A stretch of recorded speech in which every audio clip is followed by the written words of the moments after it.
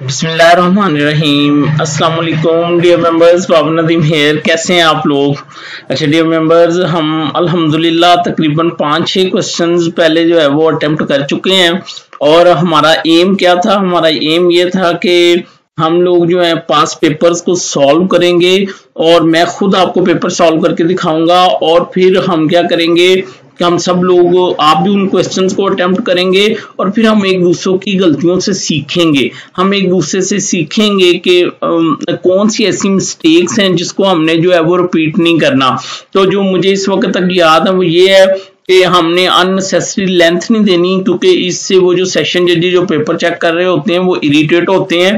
दूसरी बात ये है कि हमने रीजनिंग के ऊपर फोकस करना है। टू दी पॉइंट उनको जो है वो जवाब देना है, चाहे वो आधी लाइन का जवाब हो फिर उसके अलावा हमने ये सीखा है कि प्रेजेंटेशन पे ध्यान देना है, कोशिश करनी है कि शॉर्ट लिखना है, लेकिन उसे खूबसूरत करके लिखना है ताकि एक अच्छा इम्पैक्ट जो है वो उसके ऊपर जाए।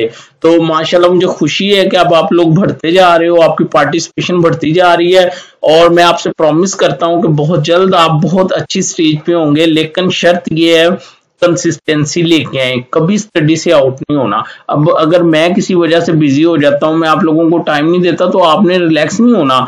मेरा तो मकसद ये है कि मैं आपको वो पैरामीटर्स बता दूँ, जिन पैरामीटर्स की बुनियाद पे आप खुद सब कुछ कर सकें। तो वो पैरामीटर्स आपको बताए जा चुके हैं, ठीक है? और बता भी रहा हूँ तो आपने किसी की तरफ़ नहीं देखना। आपने किसी अकेडमी की तरफ़, किसी, आप ठीक है असिस्टेंस के लिए सब कुछ करें।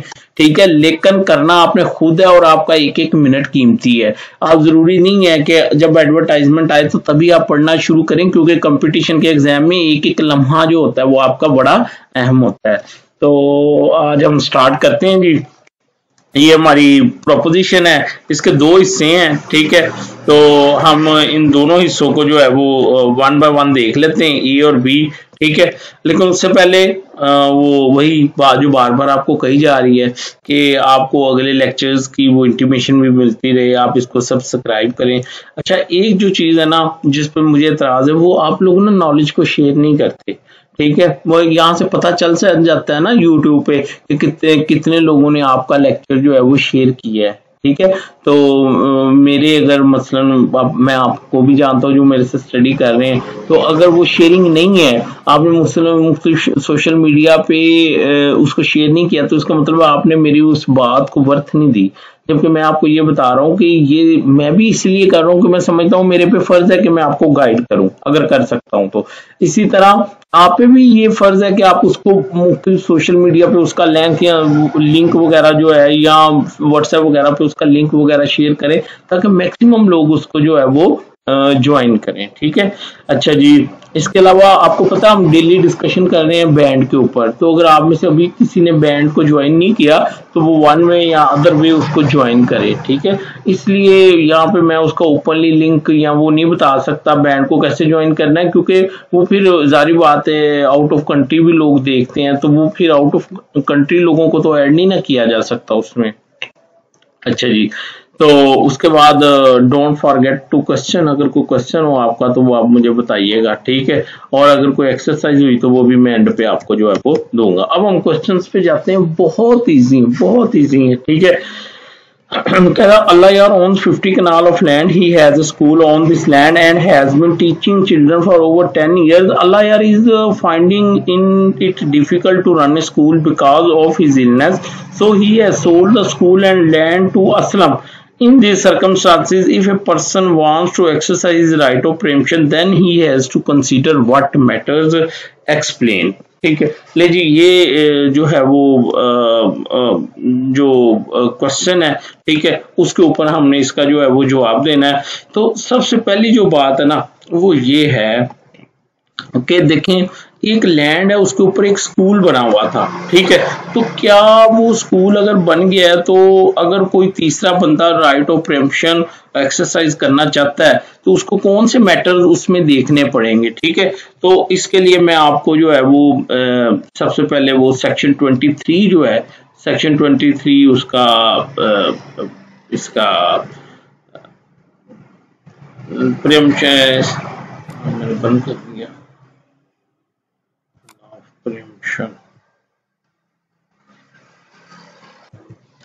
अच्छा जी, ये आ गया पंजाब प्रियमशन एक्ट, ठीक है? इसका ना वो जनरल रूल तो वो सेक्शन फाइव है ना, जो बताता है कि जी वो कोई भी मूवेबल प्रॉपर्टी है तो उसके ऊपर जो है वो राइट ऑफ़ प्रियमशन जो है वो एक्सरसाइज किया जा सकता है, ठीक है? The right of preemption rise in case of sale of immovable property अच्छा अब इसमें कुछ रिस्ट्रिक्शन है, हम चलते हैं सेक्शन ट्वेंटी के ऊपर। सेक्शन ट्वेंटी क्या कहता है? कहता no right of preemption in respect of certain properties कहता no right of preemption shall exist in respect of sale of work of property और property use for charitable religious और public purpose तो देखिए, वो स्कूल भी जो है school जो चला चला चला रहे हैं, वो भी तो एक पब्लिक पर्पज के लिए चला रहा है ना? ठीक है? एक्चुअली ना, ये जो प्रोपोजिशन है ना, ये एम्बिग्विटी है इसमें ना। इसमें उसको क्लियर करना चाहिए था कि आया वो अपने पर्सनल यूज़ के लिए चला रहा है, उसको, यानी बिज़नेस के लिए चला रहा है, या वो इसको एज ए चैरिटेबल या पब्लिक पर्पज जो है वो चला रहा है। तो आप दोनों के लिहाज से लिख सकते हैं। आपने लिखना ये है कि ये जो प्रोपोजिशन है, ये इस पॉइंट के ऊपर जो है वो साइलेंट है। ठीक है कि वो जो स्कूल वो चला रहा है, आया वो पर्सनल कैपेसिटी में फॉर बिज़नेस पर्पज चला रहा है, या वो वाकई उसको फॉर पब्लिक पर्पज या चैरिटेबल पर्पज ठीक है, वो उसको जो है वो चला रहा है, ठीक है? तो अगर वो उसको पब्लिक पर्पज चला रहा है तो फिर सेक्शन 23 जो है वो राइट ऑफ़ प्रेमशन को जो है वो बार करता है तो वो राइट ऑफ़ प्रेमशन जो है उसको एक्सरसाइज नहीं कर सकता। तो आपने मेरी बात देख ली। ये कहता no right of preemption in respect of a property use for charitable पर पब्लिक पर्पज और यही हमारी प्रोपोजिशन थी। अब मैं वो प्रोपोजिशन जो है उसको दोबारा पढ़ता हूँ। ठीक है? ये ले। कह रहा अल्लाह यार owns 50 canal of land. He has a school on this land and he, he has been teaching children for over 10 years. Allah is finding it difficult to run a school because of his illness so he has sold the school and the land to Aslam in these circumstances if a person want to exercise his right of preemption then he has to consider what matters तो इसमें आपने जो है वो वही बात है कि आपने वहाँ पे ये लिखना है कि जी क्योंकि वो एक स्कूल है स्कूल एक पब्लिक पर्पज के लिए है तो अगर वो पब्लिक तो सेक्शन 23 जो है वो उसको क्या करता है बार करता है और अगर आप उसको इस तरह से इंटरप्रेट करेंगे कि यहाँ पे अगर स्कूल का मतलब उसका एक अपना बिज़नेस लिया जाए, ठीक है तो वो एक पब्लिक पर्पज नहीं है तो उस सूरत में जो है, वो क्या कहते हैं, वो उस पर राइट ऑफ़ प्रेमशन जो है, वो एक्सरसाइज कर सकता है, ठीक है, और फिर उसके बाद आगे भी उसमें लिखने हैं कि फिर अगर वो राइट ऑफ़ प्रेमशन एक्सरसाइज कर सकता है तो सेक्शन थर्टीन कहता है कि उसने तीन तलबे हैं जो उसने मुकम्मल करनी है, तलब मुआसबत, तलब शहाद तलब खसूमत, ठीक है। तो अगर आप इतना भी लिख देंगे ना कि ये चूँकि पब्लिक पर्पज है और वो नहीं कर सकता तो आपका जवाब बिल्कुल ठीक है, आपको पूरे नंबर मिलेंगे, ठीक है? तो यही इसका जवाब था। तो लेकिन चूँकि आप लोग मेरी सिर्फ़ देख रहे थे कि मैं लेक्चर शेयर करूँ तो मैंने सोचा मैं आपको लेक्चर शेयर कर देता हूँ। अब हम दूसरी प्रोपोजिशन के ऊपर चलें। ठीक है? अच्छा Uh, Akhtar owns a house which he sells to Bashir. Majid owns a house toward the north of Akbar house and is entitled to a right of way through that house. Naim owns a house toward south of Akhtar's house separated from Akhtar's house by a partition wall and having a right of support from that wall. Both Majid and Naim claim the preemption of the uh, of the house to Bashir who is entitled to the right of preemption, explain your opinion with reasons. ले जी, वो ये बात कहता है, वो कहता है, अख्तर के पास एक घर था जो कि उसने किसको भेज दिया? बशीर को। ठीक है? अच्छा अब जो एक माजद था, ठीक है, उसका उसकी नॉर्थ की तरफ़ जो है, वो अख्तर के नॉर्थ की तरफ़ उसका घर था, ठीक है? और उसके घर को is entitled to a right to way through that house यानी वो जो घर बिकता है, उसमें से एक रास्ता गुजरता है जो किसके घर को लगता है? जो कि माजद के राउट घर को लगता है। ठीक है? अच्छा फिर उसके बाद वो कहता है, वो कहता है के Naeem own house toward south of the Akhtar house और उसके साउथ की तरफ़ जो है वो अख्तर का घर है। सेपरेटेड फ्रॉम अख्तर हाउस जो उससे सेपरेट है by a partition wall and having a right of support from that wall यानी उनके घर जो है वो अलहदा अलहदा हैं, जबकि माजद और उसका घर जो है वो साथ साथ है, ठीक है? And having right of support from that wall both Majid and Naeem claim the preemption of the house to Bashir who is entitle to preemption explain your opinion अच्छा अब मैं आपको बताता हूँ। सबसे पहले ना मैं आपको उसके ऊपर लेके चलता हूँ, जो रेलिवेंट लॉ है। अब मेरी बात सुने। आपको पता है ना कि तीन टाइप्स हैं उनकी वो जो जो पर्सन राइट ऑफ़ प्रियम्पशन एक शाफी शारिक, जो कि को ओनर होता है, ठीक है? एक शाफी खलील, ठीक है? और एक शाफी जार अच्छा आगे ना उनकी वो डेफिनेशन भी दी हुई है। कि शाफी शारक का वो जो गवर्नर होगा। शाफी खलीद क्या है? A participator in special rights attach to the property hold such as right of passage right of passage of water और राइट ऑफ़ इरीगेशन ये किसकी डेफिनेशन है? शाफी खलीद की। जो पार्टिसिपेटर हो किसमें जैसे राइट ऑफ़ पैसेज वगैरह भी, ठीक है? और तीसरा कौन है? Shafi Jar. A person who has right of preemption because of owing an immovable property adjacent to the property sold सबसे पहले आप इस बात को समझे। कि ये जो माजद है, इसका तो राइट ऑफ़ पैसेज है ना? देखिए वो क्या कह रहा है।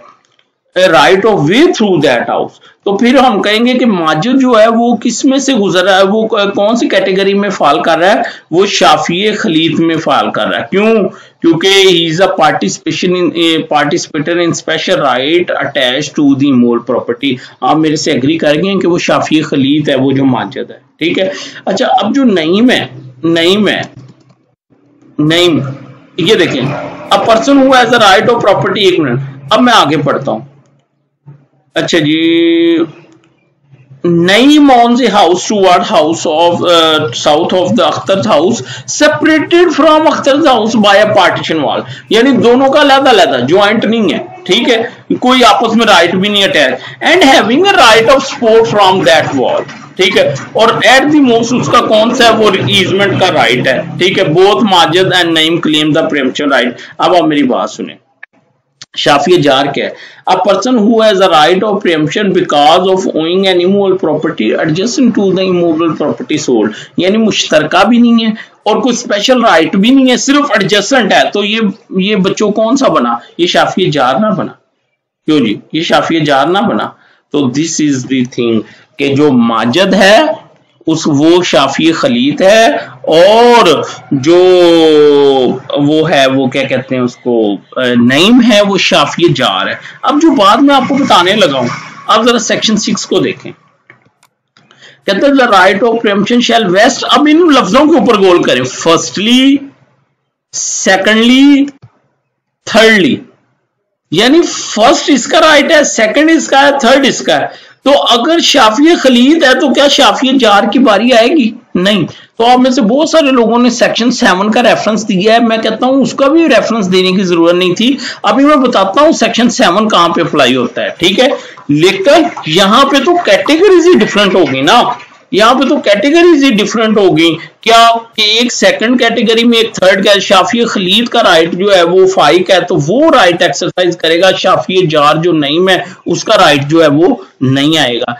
लेकिन अब एक सिचुएशन ऐसी भी हो जाती है कि अगर दोनों ही शाफी मसलन शाफी शरीक होते को ओनर होते, ठीक है? तो फिर उनमें से कौन राइट एक्सरसाइज करता? तो फिर उस सूरत में सेक्शन सेवन है, वो कहता है कि जब दोनों लोगों के पास स्पेशल राइट हो, इसमें स्पेशल राइट आप उसको बेशक सेक्शन सेवन में भी लिख दें, वैसे तो वो कैटेगरीज ही डिफरेंट हो गई हैं। अच्छा सेक्शन सेवन क्या कहता है? वह कहता है where there are more than one participator in special right attach to the immovable property sold the person having a special right shall have precedence over the person having a general right तो वो party जिसका जिसका special right होगा, वो किसके ऊपर prevail करेगा? वो जर्नल के ऊपर। अच्छा अब स्पेशल राइट किसी ने बड़ा अच्छा लिखा आप में से। स्पेशल राइट और जनरल राइट में क्या फ़र्क है? ये आप वो भी पढ़ सकते हैं, वो क्या कहते हैं? वो जो इलेस्ट्रेशन दी हैं, वो भी नहीं है। देखिए, जो माजद है, जो माजद है वो वो देखें, उसके घर में से रास्ता गुजरा जो घर बिका है तो वो उसका तो उसके बगैर गुजारा ही नहीं है तो उसको कहेंगे स्पेशल राइट जबकि जिसको सिर्फ़ स्पोर्ट है वो वन वे या अदर वे अपना जो है वो सेपरेट कर सकता है घर, अपनी दीवार खड़ी कर सकता है। तो वो जर्नल राइट है और जो राइट ऑफ़ वे है वो, जो सपोर्ट ऑफ़ वॉल है वो स्पेशल वो जनरल राइट है और जो राइट ऑफ़ पैसेज है वो क्या है, वो स्पेशल राइट है। तो फिर स्पेशल राइट को प्रेफरेंस होगी किसके ऊपर? जनरल राइट के ऊपर। मैं अपने क्वेश्चन को अब कंक्लूड करने लगा मैं ये कहता हूँ फर्स्टली तो ये क्वेश्चन सेक्शन सिक्स में फॉल करता है कि एक शाफिय जार है और दूसरा शाफिय खलीत खलीत है, ठीक है? क्योंकि शाफिय खलीत जो है, वो प्रेफरेंस रखता है शाफिय जार पे, लिहाजा नाइम का कोई राइट नहीं बनता। अच्छा अब आगे आपने ये लिखना है even if it is suppose that that the both parties fall within the same category even then as per section 7 of preemption act uh, right of passage is special right of the majid so he has a professional right over the name तो ये लिख के आपने इस question को जो आपने solve करना है होप कि आपको मेरी बात की समझ आ गई अब हम चलते हैं प्रेजेंटेशन की तरफ़ अब हम प्रेजेंटेशन के ऊपर चलते हैं ठीक है किधर गया भाई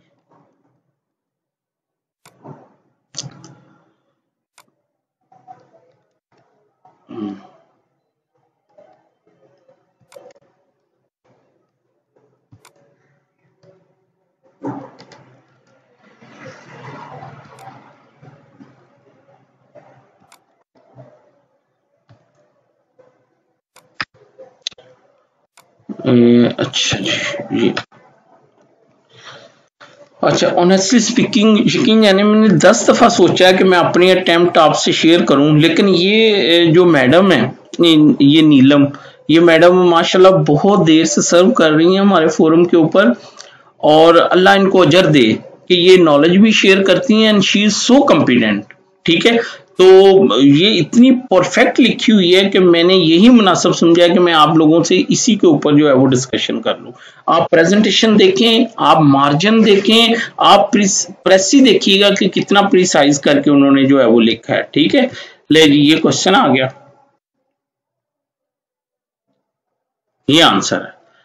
अब वो क्वेश्चन पहले वाला कौन सा था? वो वाला, वो जो एक स्कूल चला रहे हैं। देखिए उन्होंने कितना प्रिसाइज करके लिखा है। Section six explain in home right of preemption west but there are certain exception provided by section 23 preemption act regarding properties against which there is no right of preemption available section 23 enumerates no right of preemption shall exist in respect of sale of property used for public purpose देखिए उन्होंने कितना precise to the point उसको जो है उठाया कोई ज़रूरत नहीं है सेक्शन 23 को लिखने की कोई ज़रूरत नहीं है उसमें वो उन पॉइंट्स को करने की कोई ज़रूरत नहीं है प्रेमशन डेफिनेशन की डेफिनेशन निकले। Come to the point come to the point यही हाईकोर्ट की रिक्वायरमेंट है। कि जो आपसे पूछा, आप बताओ, आपको पूरे नंबर दिए जाएँगे। So here clearly has been mentioned that a property used for public purpose is not a preemptible preemptible property. In case above mentioned, Allah Yar was using property for school and he sold. इसकी भी जरूरत नहीं थी इस पैरे की ऊपर जवाब मुकम्मल हो गया on property but also school which is already operated so nobody can claim right of preemption over the property तो लो जी, ये आपने जो है वो क्या कहते हैं, इसका वेरी प्रीसाइज जो है वो उसका जो है वो जवाब बन जाएगा, ठीक है? अच्छा अब हम चलते हैं दूसरे क्वेश्चन की तरफ़। Akhtar on the house which is self to Bashir Majid on the house to वही, वो वाला। तो ये भी बड़ा प्रिसाइजली उन्होंने जवाब लिखा। सबसे पहले उन्होंने ये समझाया कि ये नॉर्थ में माजद का घर है और साउथ में किसका है? नईम का घर है, ठीक है? तो अब हम चलते हैं। आगे In above mentioned cases, both margin 9 has right of preemption provided by section 6 of Preemption Act. Naim is a Shafi jar, okay, who has animal property adjacent to Majid is a Shafi Khalid who has separated right attached to the animal property, so which is right of passage. Excellent. ना एक लफज कम ना एक लफज ज़्यादा So in such cases, court shall decide the matter in the light of Section 7 of Preemption Act, which enumerates priority of the rights of preemption where there are more than ये मैं आपको बता चुका हूँ कि सेक्शन 7 की ज़रूरत ही नहीं थी क्यों क्योंकि सेक्शन 6 ही ये बताता है फर्स्टली सेकेंडली और थर्डली लेकिन अगर हम इसको coexist. Even if it is supposed that both have a special right and has a right in respect of the property, property actually where there are more than one participant in a special right attached to immovable property sold, the person having a special right shall have precedence over a person having a general right. In the light of second above case, name has a general right over property sold while in which is the essence of section 6a Majid has a special right as uh, of he has only way of success to his own property via Akhtar Daud. So Majid has a right of preemption in priority to name and he will be able to get houses for having a special right. तो ये इसका जवाब है जी तो I think that आपको समझ आ गई। और माशाल्लाह आप सब लोगों की अटैम्प्ट जो थी, वो बहुत ज़बरदस्त थी। अल्लाह आप लोगों को कामयाब करे। और अब मैं अगले क्वेश्चन की तरफ़ हम लोग जो है, वो चलते हैं। शुक्रिया।